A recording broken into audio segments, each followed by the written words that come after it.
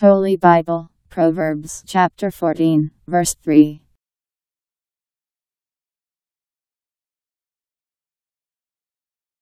In the mouth of the foolish man is a rod for his back, but the lips of the wise will keep them safe.